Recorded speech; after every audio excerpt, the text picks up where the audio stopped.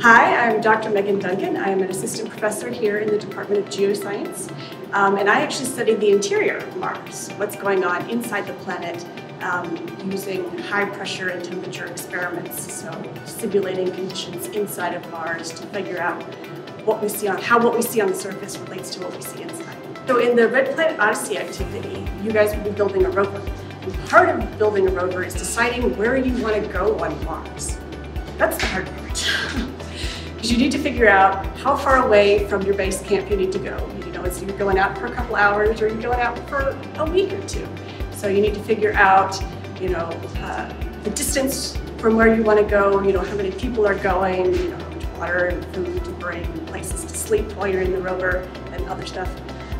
All of that stuff um, uh, is important when you are designing a rover and deciding where to go on the planet. So doing the science actually once you're on Mars and figuring out where to go, where to go out and collect samples that you're going to bring back to base camp. I got to choose where you went on the surface. I would go to the volcanoes because the volcanoes tie directly into the kind of research that I do on Mars. So the, the lava that comes out of the volcanoes is directly related to what's going on inside the planet, which is where I'm doing most of my work.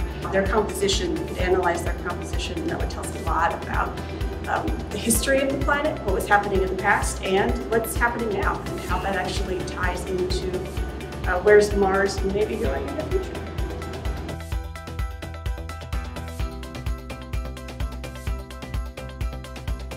Hi, I'm Caleb Sellers. Hi, I'm Holly Clark. Hi, I'm Spencer Hanna, and we are the Virginia Campbell County 4 H team leaders. And we are here to introduce you to the Mars Base Camp Red Planet Odyssey activity.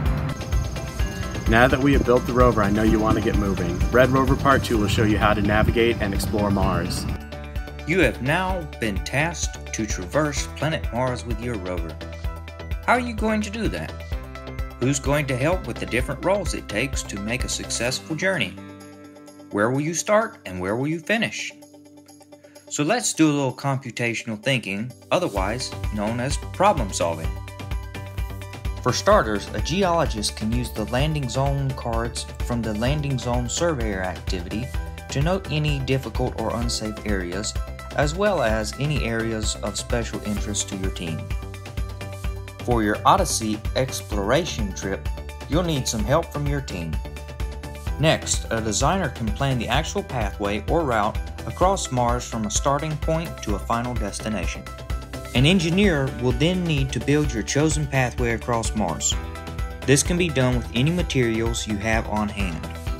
We found heavier items seem to work best for younger ages, and even using a hula hoop helps contain the rover from flying off into space. Remember, your rover must traverse the planet without any help. Just place it on the starting point and let it navigate. And finally, a computer scientist can help reflect, debug, and experiment. You should think about the pathway design and the overall process. Did it work? Why or why not? What problems did you encounter?